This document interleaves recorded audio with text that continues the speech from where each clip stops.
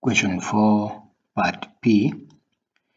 Use the method of undetermined coefficients to solve the differential equation um, d2x dt squared plus 4 dx dt plus 3x equals to uh, exponent minus 2t given that when t equals to 0 x is is 0 and dx dt equals to 2 11 marks.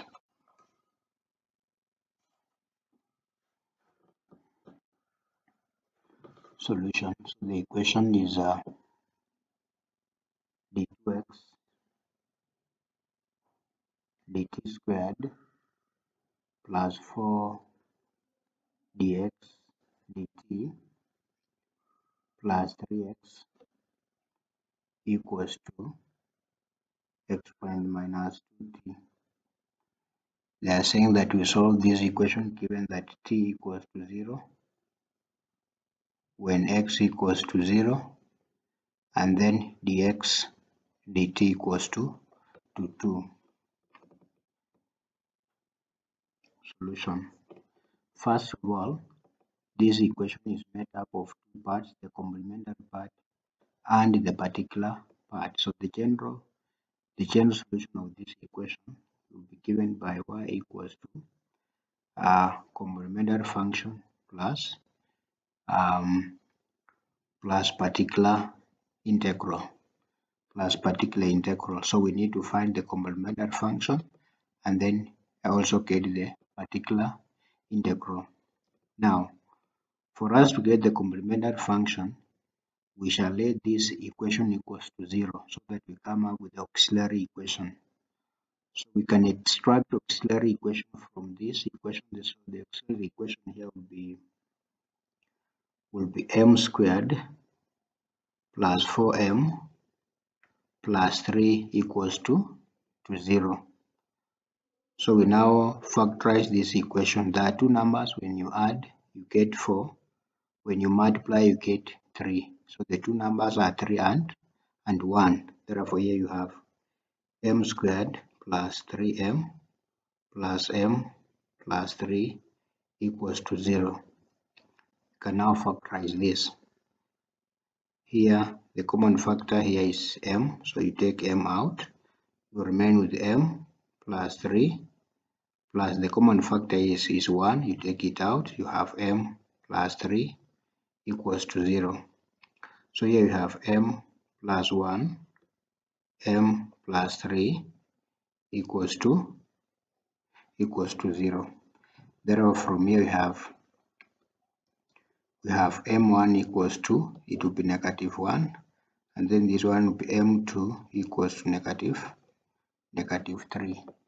Therefore, uh, our complementary function y will be given by um, a exponent is always given by a exponent m1x plus b exponent m2x.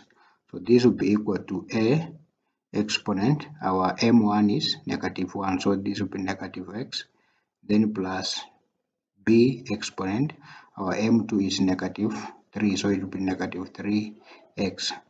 So now this is our complementary function.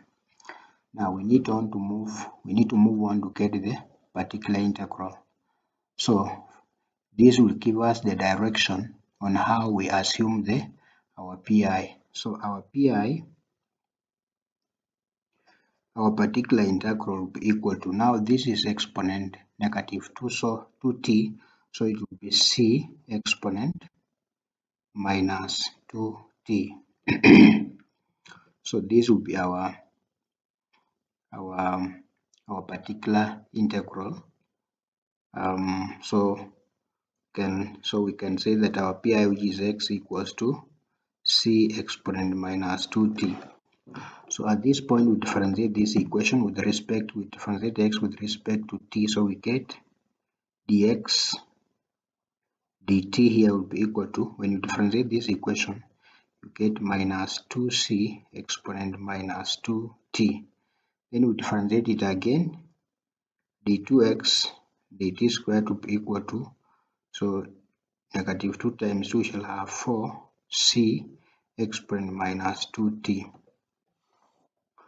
Uh -huh. So uh, after performing this, after after differentiating this, we now come and and substitute in this equation where there is the d2x dt squared we put it there 4c exponent minus 2t so so this will be 4 4c exponent minus 2t then this will be plus 4 dx dt is this one. So 4 into minus 2c exponent minus 2t then plus 3 our x is what our x is c so it will be c 3c exponent minus 2t this one now equals to exponent minus 2t exponent minus 2t we open the bracket we have 4c exponent minus 2t now here it minus 8 minus 8c exponent minus 2t plus 3c exponent minus 2t equals to exponent minus 2t. So at this point we divide through by exponent, exponent minus 2t. So when we do that we remain with 4c minus 8c plus 3c equals to 1.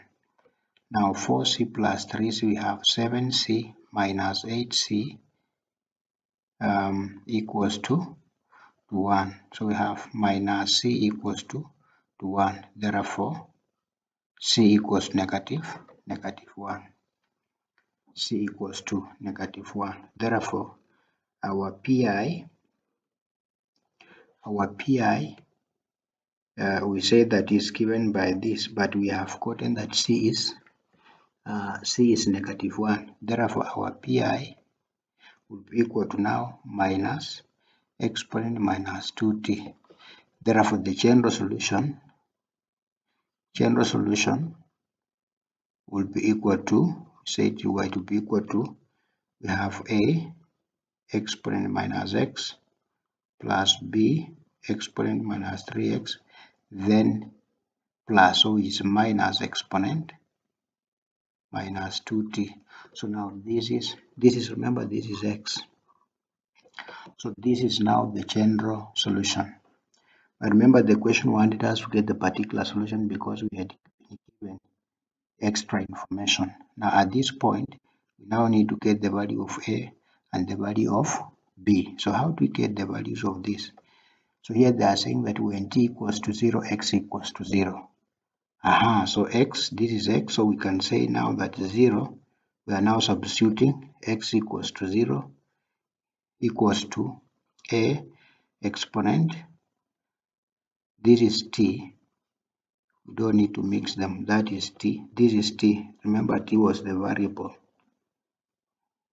Uh, yeah this is t so when x is 0 t is 0 so this will be equal to when t is 0 x so this will be exponent 0 plus b exponent t is 0 so this will be exponent 0 minus t is 0 so this will be exponent 0 so this equals to exponent 0 is 1 so here we remain with the a plus b minus minus 1 therefore we are saying that uh, a plus b equals to 1 call it equation equation 1 now we need two equations for us to be able to get the value of a and b. So we have equation 1 now equation 2 we shall get it from here. They are saying that dx dt equals to 2. Therefore, we shall differentiate this equation and equate it to, to 2.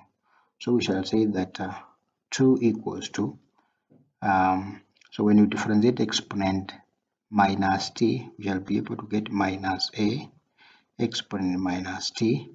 When you differentiate this, you get minus 3b exponent minus 3t. When you differentiate here, you have plus plus exponent plus 2 exponent minus 2t.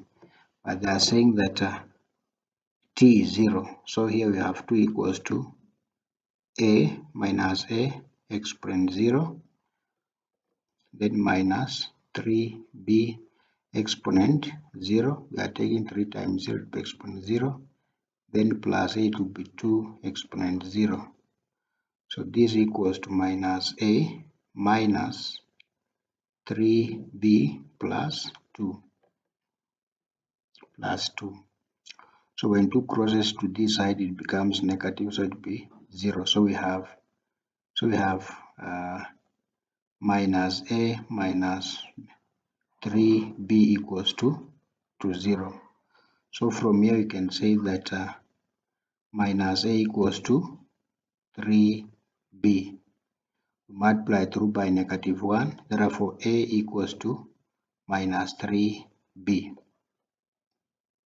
so we have two equations here. As you can see the first equation is this one. Let me rewrite it here. A plus b equals to 1 and then we have a equals to minus 3b so we can come here and substitute. Where there is a we put it there minus 3b so we have minus 3b plus b equals to, to 1 this is minus 2b equals to 1 therefore b equals to negative a half. So if b equals to negative a half what will be the value of a? A equals to minus 3 into minus a half. So it will be equal to 3 all over 2 now once we have the value of a and b remember the general solution was the particular solution was what? Y equals to the general solution it was x equals to this one a a exponent minus t and then plus plus b plus b exponent minus 3t then minus minus exponent minus 2t now the particular integral now will be equal to our a is now 3 all over 2 we have 3 all over 2 exponent minus t. Then our b is our our b is a, a, a negative half so it will minus minus a half exponent minus 3t minus exponent minus 2t and that is the particular solution remember we have now removed a and b so um, what we are saying is that to solve this kind of equation the first thing um, remember the general solution is given by complementary function plus particular integral so to get the complementary function, you let this equation equals to 0 and then you get what we are calling the auxiliary equation.